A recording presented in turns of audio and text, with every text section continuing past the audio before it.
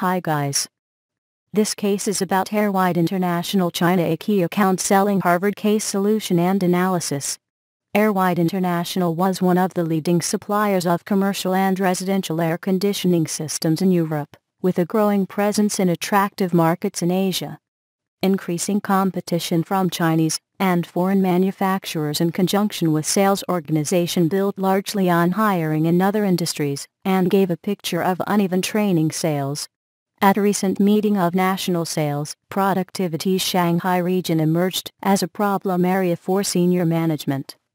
The transition from product sales to key account sales met with obstacles, primary among them is the lack of commitment of some of the sales leaders.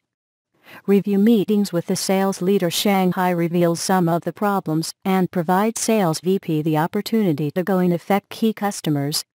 For more details you can visit www.thecasesolutions.com. Thanks for watching this video.